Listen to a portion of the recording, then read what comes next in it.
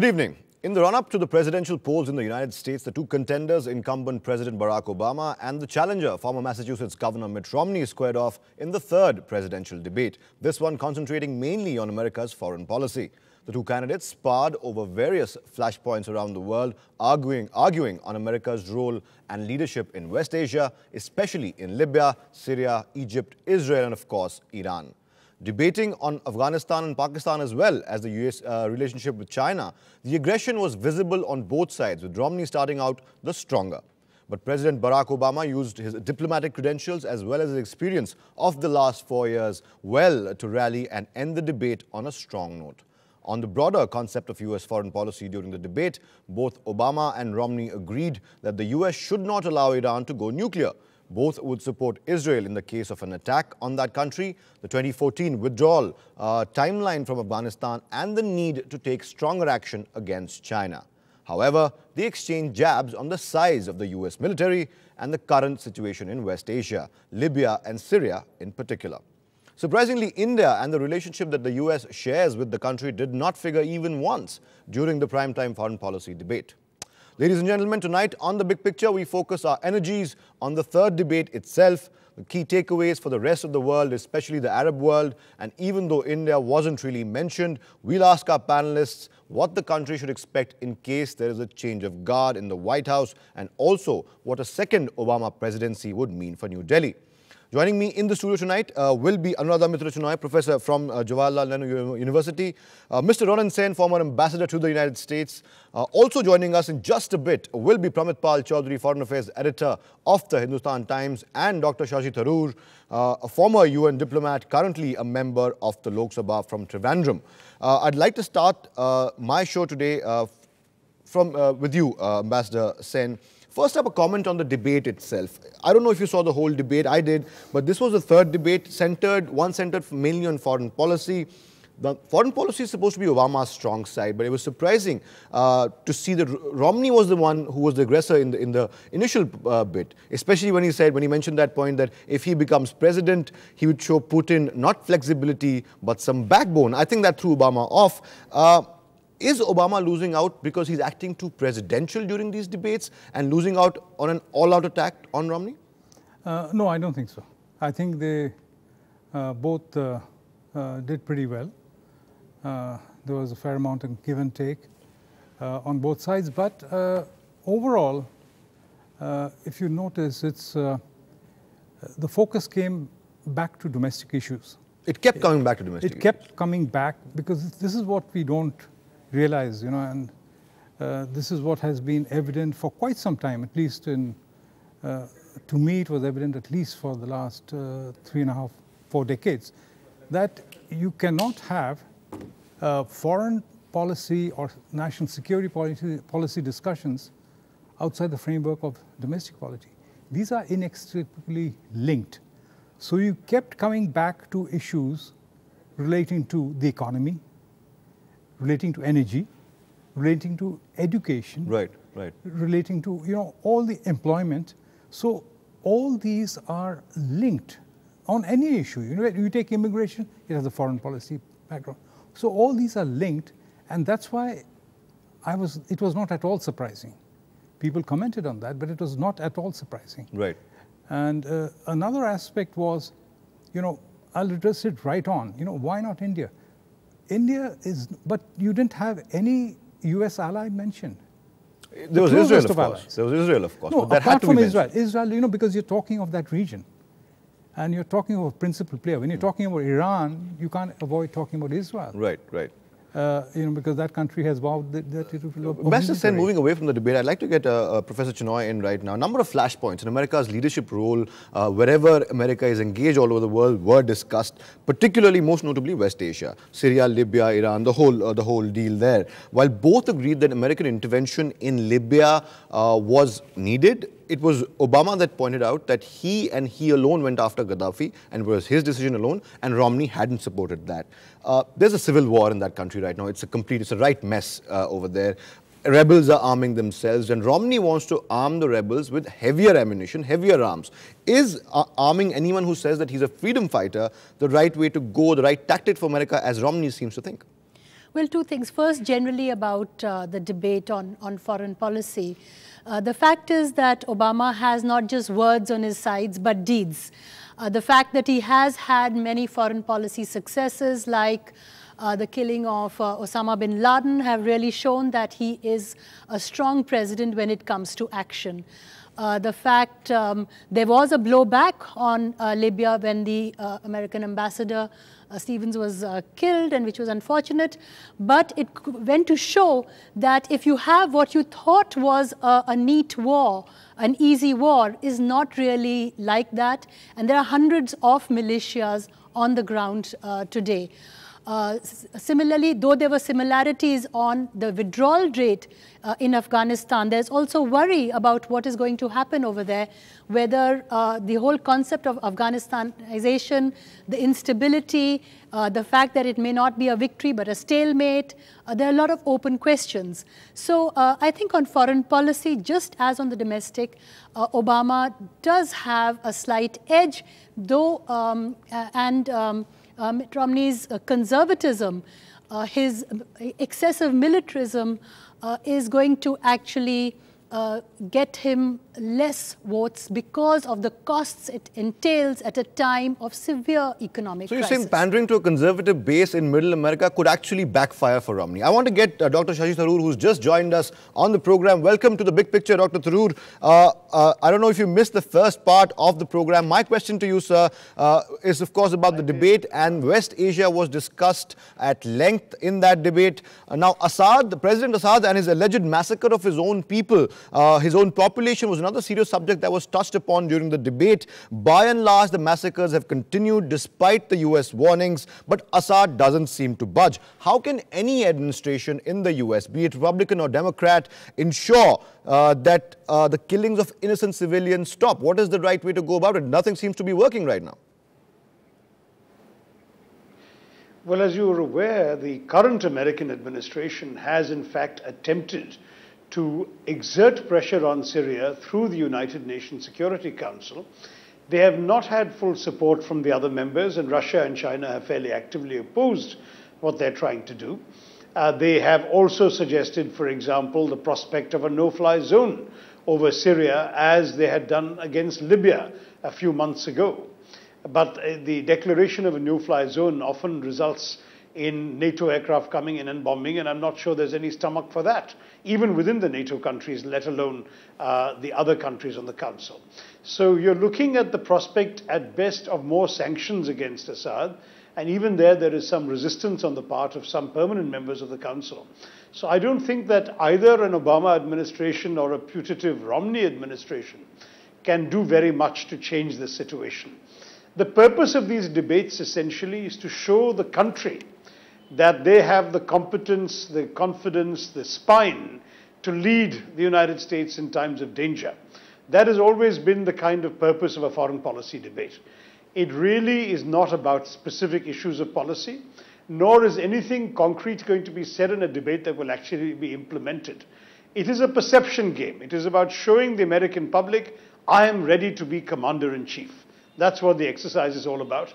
And on that score, by all accounts, Obama did much better than Romney. Right. Uh, we'll discuss a couple of other issues that were discussed in the debate. Stay with us, Dr. Tharoor. I'll come to Ronen Sen right now and ask him this. Uh, Egypt, another uh, very uh, big flashpoint right now. Uh, Romney seems to think that a Muslim Brotherhood president, uh, Morsi Mohammed, being in power in Egypt right now is a threat to the United States security, national security, and otherwise as well.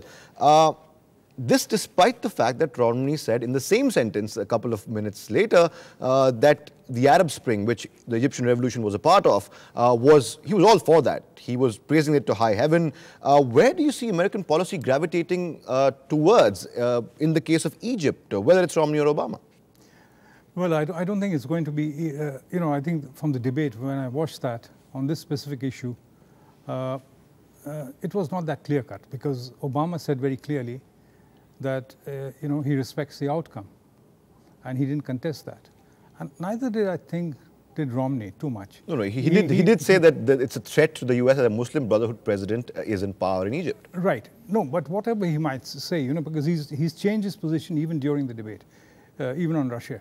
What I'm saying is that you see, if you take the Muslim Brotherhood president. You know, the whole situation around Syria, we talked about Syria, it's very complicated.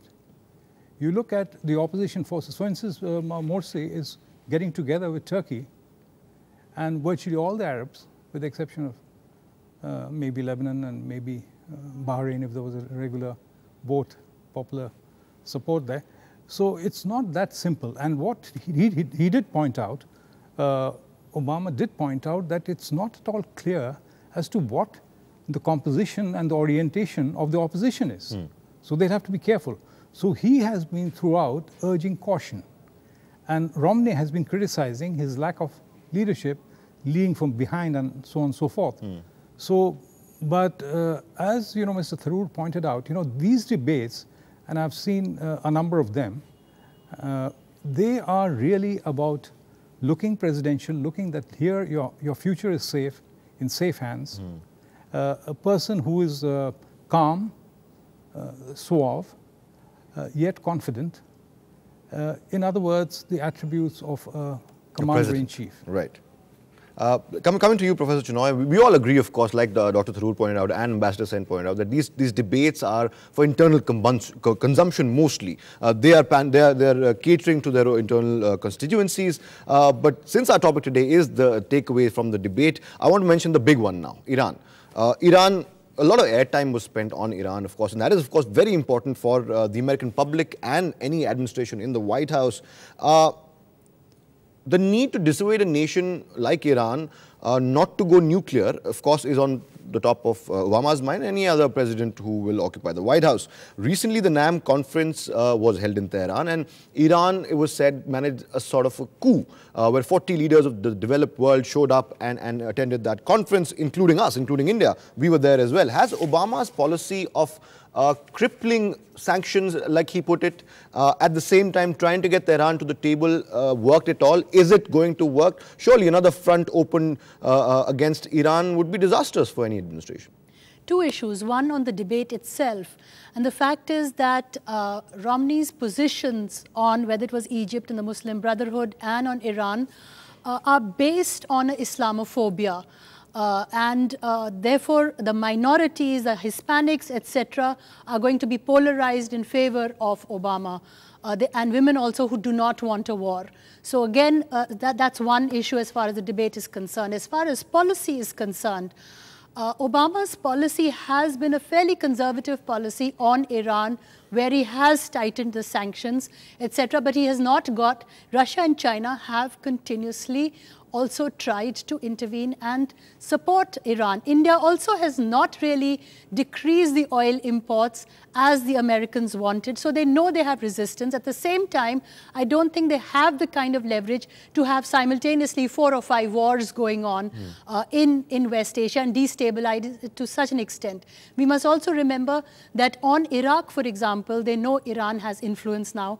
Iran has influence in Libya and Iran has influence in Afghanistan. So they would like to curb that and have Turkey as the major regional player. But at the same time, I don't think they can afford really to disturb the Arab street that much by um, uh, the and the sanctions are beginning to hurt mm. uh, Iran. There was a run on the uh, on the Iranian currency, and the president had to appeal that people don't dollarize the currency, etc.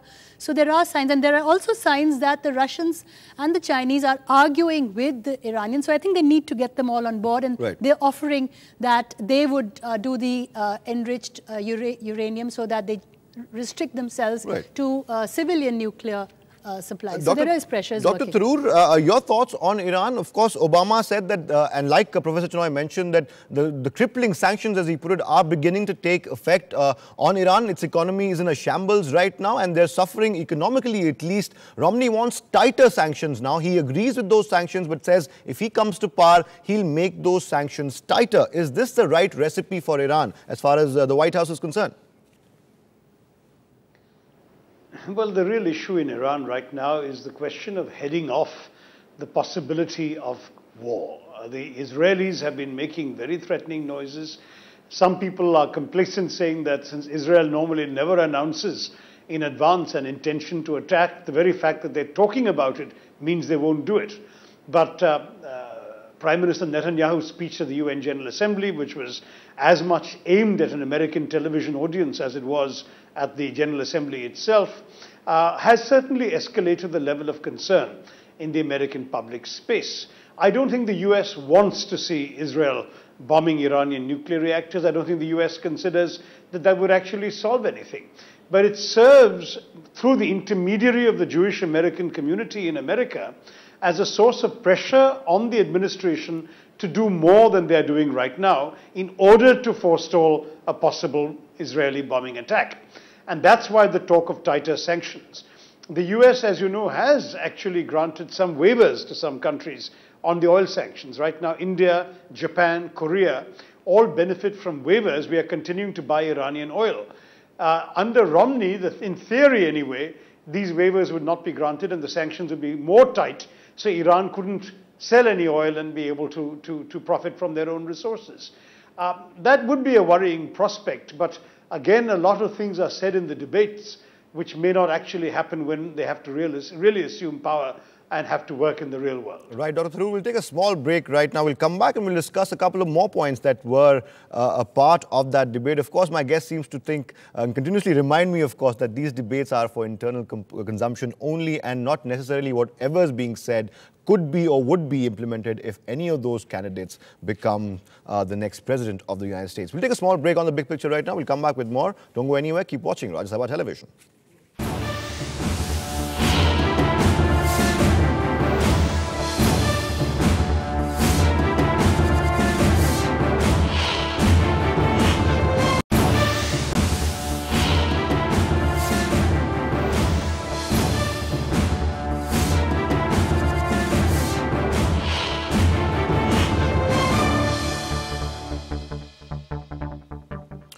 Back to the big picture. Uh, Dr. Tharoor, Ambassador Sen, and Professor Chenoy are still with us. Uh, Ambassador Sen, uh, let me ask you this. Moving on to uh, Afghanistan, Pakistan, AFPAK as they call it now. Mm -hmm. 2014 is the deadline when uh, the US and allied troops leave Kabul, and there'll be a reserve force, about 20,000, that they leave behind. Uh, now, how real is the danger?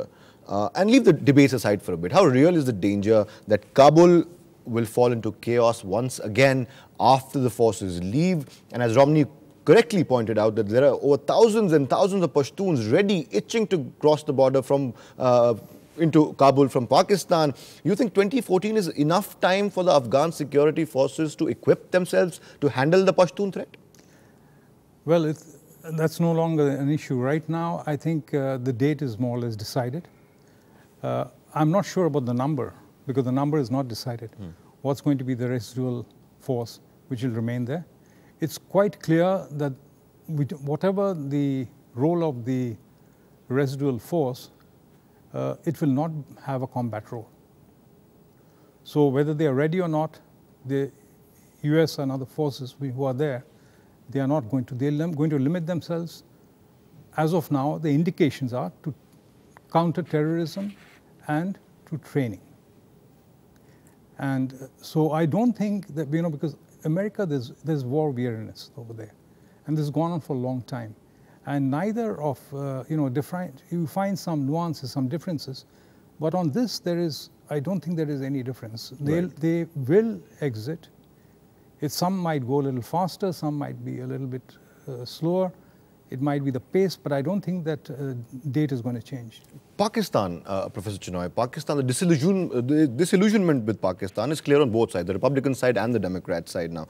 However, both uh, Romney and Obama agree that uh, Pakistan is very important and cannot be just left there, can't be left to decay into a failed state as, as one candidate called it. But what does any American president do when even the authorities in Pakistan are not being cooperative? They can't be trusted. The doctor who gave intelligence to Osama bin Laden is behind bars now. That's true. Uh, Pakistan, as uh, Madeleine Albright earlier had said, is an international migraine. Uh, but uh, nonetheless, um, uh, the fact is that uh, even the Americans, I don't think they have, they've been giving it, Pakistan huge amounts of aid without sufficient amounts of accountability. And for example, the Haqqani network, which uh, uh, Mr. Mullen, their uh, commander, said was a veritable arm. the Haqqani network he said it was a veritable arm of the ISI, but nonetheless, they were only put on the terrorist list three weeks ago. So what, what, what were the Americans doing earlier? Hmm. So the thing is that Americans also have been playing, uh, you know, with the, the uh, Pakistani agencies, and there's been a give and take, etc. And on the ground level, uh, there are lots of intrigues. Uh, but I think the push is that definitely, as far as both Afghanistan and Pakistan is concerned, uh, the, region, the region around needs to be uh, engaged not in geopolitics as the Pakistani army would like, but in some kind of uh, collaborative uh, security and uh, in, in ways in which Afghanistan can be rebuilt. Uh, it's, it's, definitely not sure that it's possible, but that is the only possible solution. Uh, the fact that it can go into crisis is quite strong, but there can also be that the, um, you know, the good and bad Taliban can come together right. and become part of the structure of the right. government. Let's, let's get Dr. Tharoor's opinion on this. Uh, uh, Dr. Tharoor, uh, you, uh, you, heard what Professor Chenoy had to say. Of course, collaborative security uh, was one word mentioned. Where do you see America's uh, foreign policy, regardless of what is being said in the debates, going on Pakistan? They have, they're having a very tough time in that country. Yeah, I think that there's certainly a level of fatigue and frustration with the entire AFPAK issue. Uh, on the other hand, they're rather deeply implicated and they've spent an awful lot of money in both places. Uh, as far as Afghanistan is concerned, I agree largely with Ambassador Sen.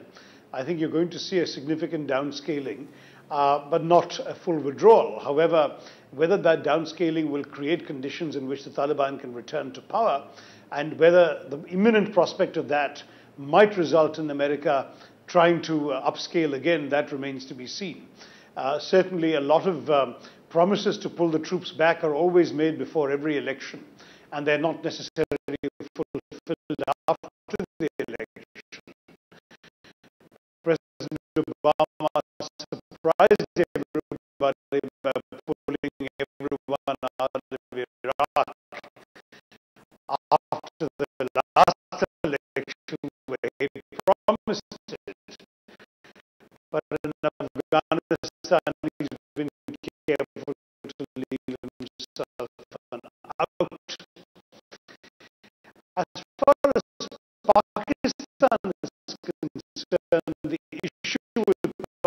Pakistan remains that you can't trust them, that essentially uh, the Pakistanis appear to be taking money for anti-terrorist operations and spending some of it to support their own brand of terrorists, the Haqqanis in Afghanistan, and of course uh, the Lashkar-e-Toiba attacking us.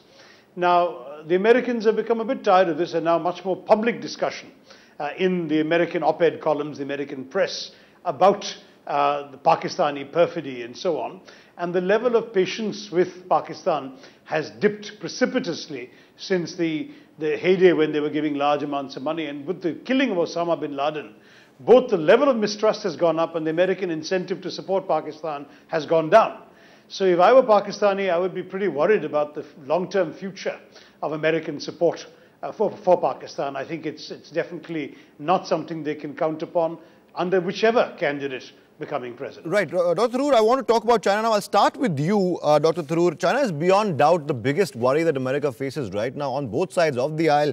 Uh, the trade deficit with China, all the jobs going there, the debt, that keeps adding, that keeps adding to the anxiety over China inside America. Romney mentioned that uh, uh, China keeps its currency uh, intentionally down so that their products cost lower, keep the, the product cost keeps going lower. And he said he would also pressurize China uh, to stop devaluing their currency so much. How feasible is that really going to be? China is no pushover. Well, actually, the Americans have been pressurizing China for quite some time uh, to revalue the renminbi. And in fact, it has gone up roughly about uh, 15 to 20 percent in the last four or five years through a very carefully managed rise. The Chinese have had to give in to some degree to these pressures. I don't know if Romney's uh, rhetoric is going to change the, the level of cooperation the Chinese have given on this matter because the Chinese have a very realistic sense of what their economy can sustain. And they won't let it rise in value beyond a certain point. Right. Having said that, the Chinese um, uh, do control two or three trillion dollars of American Treasury bonds. And so, one thing one must uh, recognize is that the Americans and the Chinese are very deeply implicated in each other's economies. Uh, the Chinese have invested a lot of their surplus in America, and a lot of Amer China's prosperity is a result of American investment in China. Uh, American private sector companies are the engines for China's economic growth. That's the one thing that makes me feel that despite some of the Cold War type rhetoric, it's not going to be a US Soviet kind of relationship ever.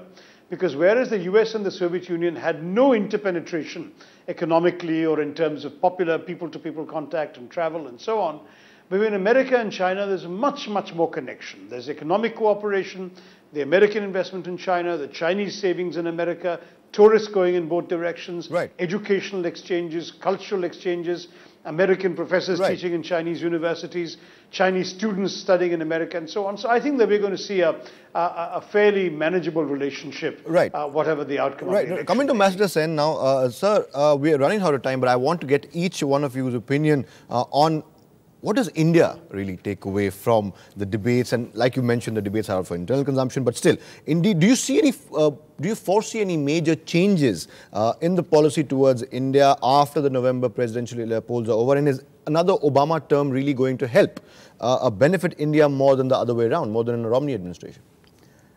Well, I don't think there's going to be any substantive change at all because uh, there, there's always, you know, some uh, period of uh, where people get adjusted to their uh, their own positions, their stated positions. On China, you have had successive presidents starting off with a very tough position, right from Clinton to from, you know the butchers of Beijing, to you know an accommodation, almost a G2 type of accommodation. Uh, Obama starting off in a particular way, corrected very uh, I mean early in his uh, presidency, but nonetheless, uh, you know, there is an equilibrium which is reached because, as uh, Mr. Tharoor pointed out, you know, in a sense, they join at the hip. Now, but today, I would say that the biggest, you know, for us, the issues are not going to be directly affecting us. There's a great deal of goodwill and bipartisan support on both sides of the aisle and among people in general for this relationship. What is going to happen is how are we going to react to, let's say, a very sharp escalation of tensions, if right. not conflict in Iran.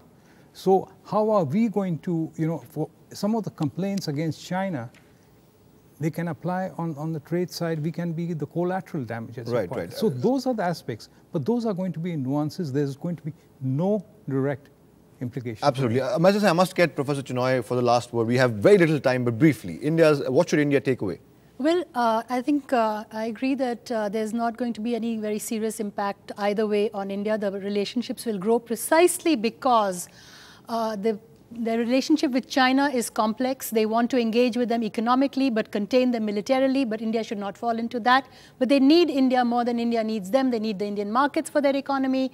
They need, uh, they want to enter into the Indian military, defense, uh, import, export, right. etc. So the relationship with India will grow, but India has to make sure that they, their own interests are also safeguarded. Always because they're going to lean on India on all these issues. Absolutely. We, we are completely out of time. I must thank all my guests uh, for joining me on the show. Dr. Shashi Tharoor, thank you so much for joining us on The Big Picture. Ambassador Ronen Sen and Professor Anuradha Chenoy. Uh, of course, uh, like all my guests perhaps said, that these debates are for only internal consumption. Doesn't really matter what they say in the debate. All they have to do is look presidential. But yes, some important points, especially in West Asia, Syria, Libya, as well as the AFPAK uh, uh, region of the world, uh, no major change, uh, my guest overseas towards India. And that's all we have uh, on the big picture tonight. Uh, Athar Khan saying goodbye, good night, and thank you for watching.